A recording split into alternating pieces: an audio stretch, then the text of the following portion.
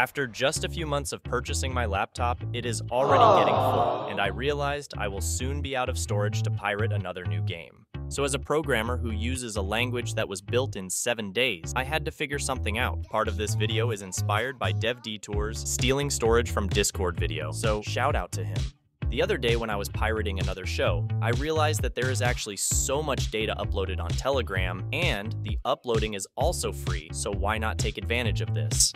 Boom, my plan was ready. Why not create a cloud storage on top of this where I can store all my data? With that, the journey of my personal cloud storage got started. I opened my terminal, created the project, and dived straight into it, created a super system design, and boy, I was on fire. Until I visited the docs for this thing, and the boy inside me that was on fire was ready to give up, but for the sake of this video, this had to be done. So apparently, the Telegram API revolves all around the Telegram bot, so I went ahead and created a cute Telegram bot. The bots can upload data into channels, so I went ahead and created a private channel. Now we had to program the bot for dealing with our data. So I installed this library to program the actual bot to upload and download the data, and the library works smooth. Now I had two options choose a bad and nasty JavaScript library for file management, or code the whole file manager thing like a super programmer would do. And obviously, I choose the library thing. I tried a library, and it was terribly bad. I went looking for another library. After all, sky is the limit. But I soon realized that I had to do things the hard way. I found some libraries, but they all lacked some or the other functionality. My goal was to process the data that I was going to upload. Since I couldn't find a library, I went ahead and used data buffers. Buffers are small memory holders which help to store data while it is being processed. And turns out working with buffers was actually pretty simpler than working with those libraries. Now that things felt fairly simple, I went ahead and started the actual coding. Now for this project, I wanted to create a simple script, and for a given file path, it should take that file and upload it to my channel, and that wasn't the best bad idea. First things first, the bot supports uploads only up to 50 megabytes.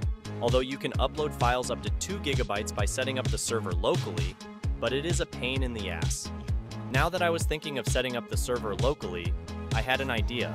Why not break the files into small chunks and just upload them? The idea was pretty good. I went ahead and coded a simple file splitter, which for a given file splits it into small chunks of 50 megabytes. Now I pass these chunks to my bot, and guess what? It actually worked, and after a few hours of bugs and errors. And oh boy, I was on cloud 9, with tears of joy in my eyes. I remembered that I had to write a script for downloading the files too, which seemed pretty simple, but we had a small issue. The API allows uploads up to 50 megabytes, but download up to only 20 megabytes. So, plan change, split the files into only 20 megabyte segments. It would be a lot of chunks, but still it's free storage. Now that I only had to change this 50 into a 20, I came to remember another thing. Sorry, I keep forgetting things. What if someone could access the data that I upload? Although my channel is private, but I was still uploading my data to someone else's server. So, another plan change. That's why you should always create a project plan document first. Anyways, I created two more scripts for encrypting and decrypting the chunks. Now that our plan is changed,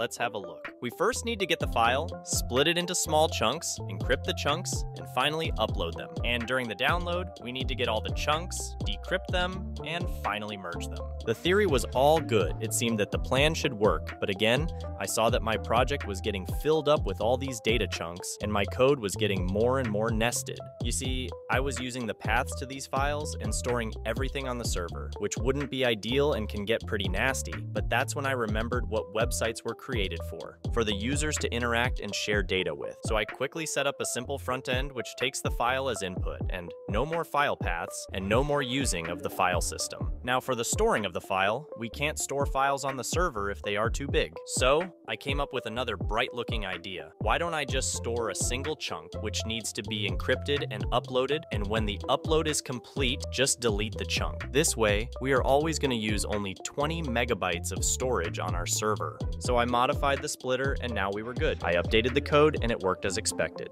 For the download, the bot downloads the files using a file ID which we get as response when we upload a file. Now I needed to save this data, so I created a function which creates a JSON blueprint for each file. This file contains the file name, its ID, and other important data. Lastly, I set up a simple front end which lets you download the data. At this point, the basic functionality of the project is looking pretty good, but it has some major flaws. Firstly, it doesn't use TypeScript, sorry for that. During the download, we are first downloading the file on the server, and then on the browser, which is slow and requires double the internet. If I upload the same file twice, when I download the file, it corrupts the data by concatenating the two files.